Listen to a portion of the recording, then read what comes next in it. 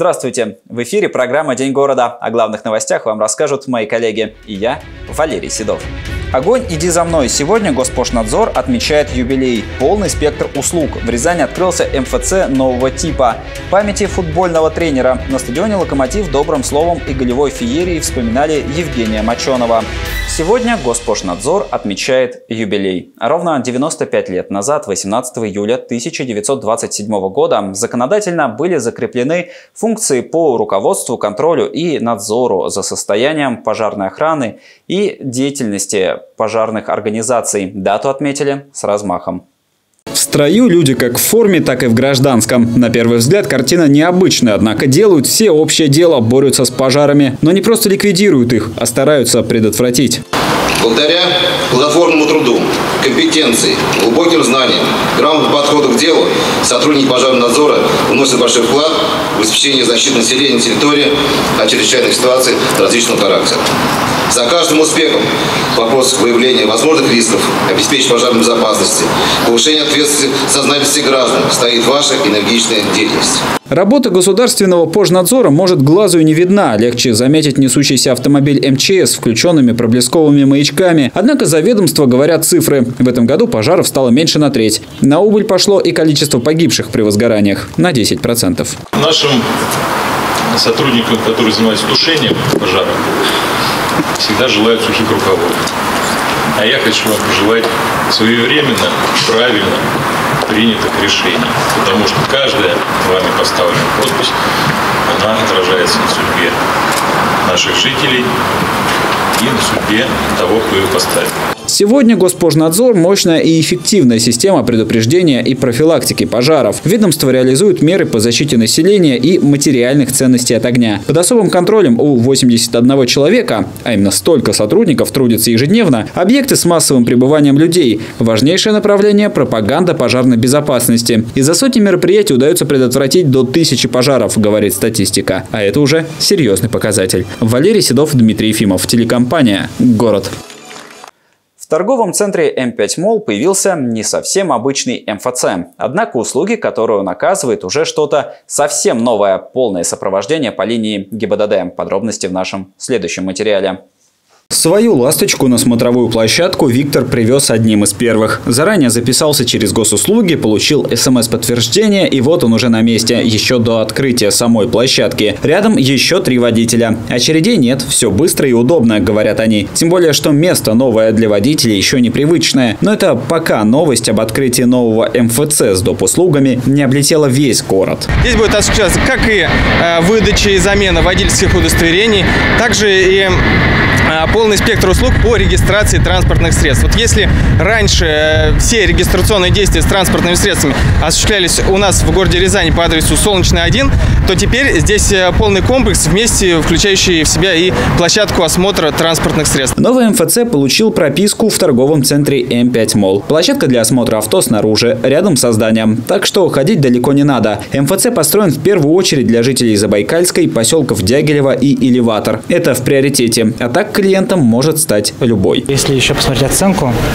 комфортности предоставления услуг, то она очень близко равна к 100%. Но это не значит то, что мы не будем дальше работать над развитием нашей сети. Как раз э, это отделение тому подтверждение.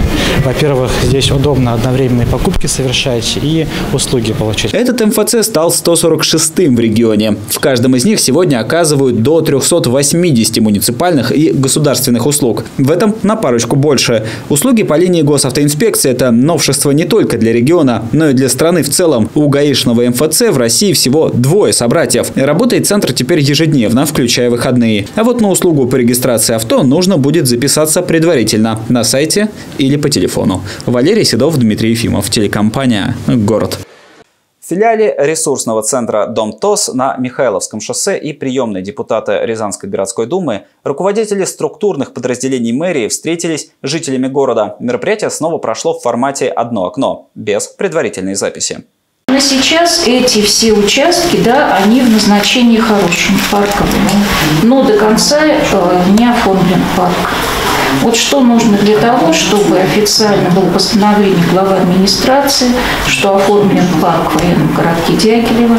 Границы территории, их благоустройство, включая островы, а также коммунальные вопросы – основа всех обращений жителей в режиме одного окна. Прямо на месте, без предварительной записи, рязанцы обращались в управление благоустройства, энергетики и ЖКХ, транспорта и в управление по делам территории по железнодорожному району. Ответы, как и в прошлый раз, у руководителей подразделений хозяйственного блока были. Вот ручеек у нас течет. Какой? Михайловское шоссе 140. Паника его сейчас назвали. Мы сроду не знаем, теперь знаем. Паника. Паника. Паника, да, а мы его паникой. Его чистили два раза. Начали косить и говорят, мы у вас тут косить не будем. У нас косы ломаются. Ну, потому что там и камни, и вот ведра, и шины, все подряд. Почему вот сразу не вывезли? Надо было бы все счистить это.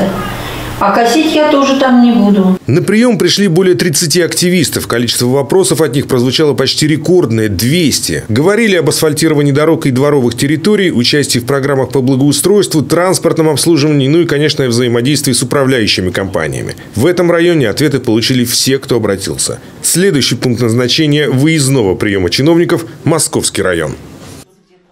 Перенос даты празднования Дня города и несколько кадровых перестановок в администрации стали главными темами обсуждения депутатов Рязанской городской думы. Это было последнее заседание депутатов перед отпуском. Подробности далее. Вопрос о дате Дня города был одним из основных в повестке. День этот всегда разный, депутаты Рязанской городской думы определяют его ситуативно. Вот и на этот раз дату приурочили к окончанию масштабного форума древних городов, который пройдет в Рязани в августе, а значит привлечет еще больше зрителей. Торжества в этом году пройдут на улице Почтовой, в Кремлевском сквере, на Лыбецком бульваре, в лесопарке и центральных парках отдыха.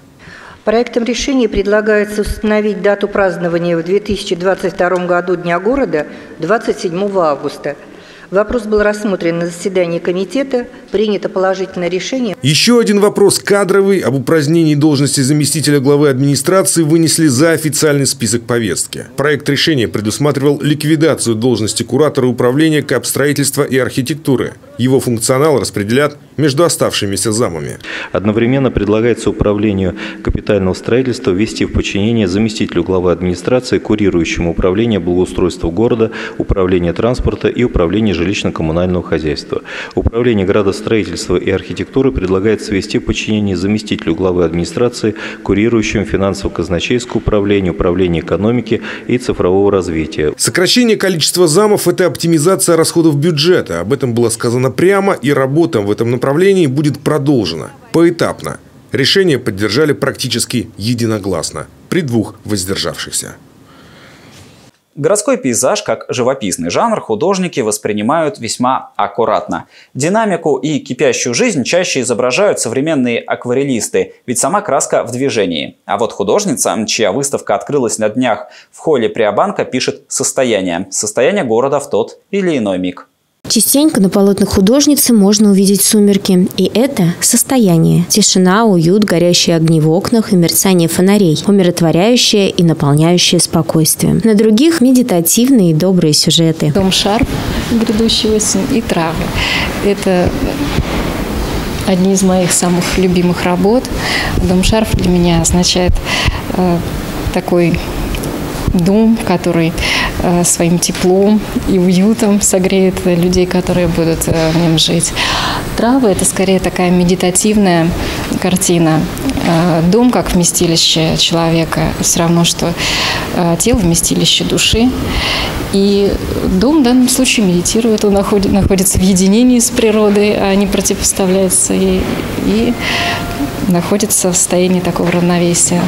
Каждый видит город по-своему. Для кого-то это убийственный ритм и пугающие технологии. Но на картинах Ольги дружелюбная среда. Куда ни посмотришь, везде такая красота. Мне очень нравятся новостройки, потому что для меня они символизируют э, духовный рост э, человека, развитие цивилизации.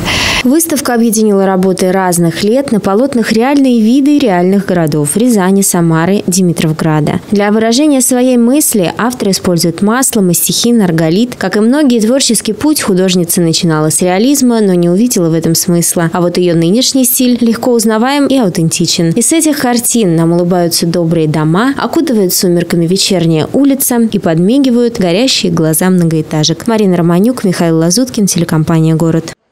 Рязанский стадион «Локомотив» принял футбольный турнир памяти заслуженного тренера Евгения Моченова. На поле вышли его воспитанники, игроки прошлого и настоящего. Причем на этот раз команд набралось практически на полноценный чемпионат. О вкладе Евгения Моченова в воспитание мальчишек и чем все это закончилось – Максим Васильев.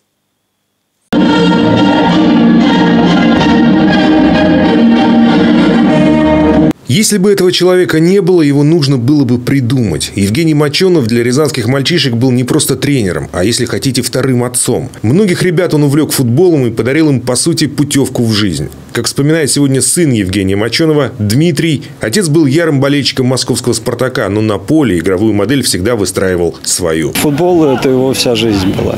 Да. Он даже вот говорил, если не футбол, то я неизвестно бы, куда попал по жизни. Хорошо, что он столько воспитал для города Рязани, для России. И память о нем всегда будет в жизни. Игровой и отдающий себя без остатка. Вспоминают о нем сегодня ветераны. Те, кто играл вместе с ним в великой хайсановской команде. Те, кто помладше, говорят о безусловном тренерском таланте. Евгений Алексеевич Моченов был э, первоклассным детским тренером. Он имел талант воспитывать не только хороших футболистов, но и хороших, добрых, порядочных людей. В его команде играли не играли хулиганы. Таких просто не держалось в команде. Никто не курил, никакого гнилого слова э, не было слышно. Была строгая дисциплина. Форма у всех была выглажена. Резиночки под гетры были сделаны. И благодаря дисциплине такому тренерскому таланту его, его воспитанники, вы можете посмотреть. Многие сейчас здесь, многие достойные люди в городе Рязани, спортсмены и просто добрые люди. Если же говорить о самом турнире, то в этом году команд стало 10 по 5 взрослых и юниорских, то есть два полноценных дивизиона. У мужчин все было более-менее предсказуемо. Явный фаворит, сам электрон, катком прошелся по всем соперникам. Полное доминирование. Именно этого когда-то на поле требовал от своих воспитанников Евгений Моченов. И своим тотальным превосходством электронщики, получается, отдали дань памяти великого для Рязани тренера.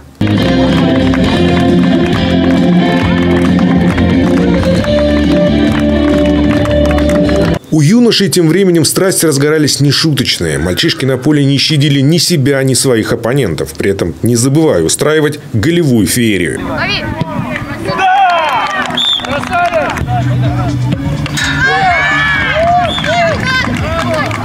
Звезда, олимпиец, золотые купола. На поле рязанского локомотива вышли сильнейшие юниоры области. Минимум разгромов, максимум самоотдачи. И в итоге вот эти ребята в тигровой красно-черной форме, первое, золотые купола, оправдали название.